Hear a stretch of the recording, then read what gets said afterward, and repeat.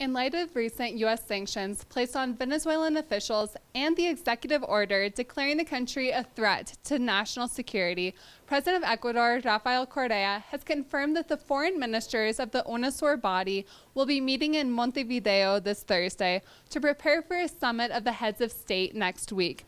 The exact date and location of this meeting of the heads of state has yet to be confirmed. This announcement by Correa follows the U.S. executive order issued on Monday, which described the situation in Venezuela as an extraordinary and unusual threat to U.S. national security and foreign policy. Correa said that the UNASUR heads of state will meet to discuss the situation in Venezuela and reject what he called illegal and shameless U.S. interference in the region. Liz Scherffius, Telesur, Ecuador.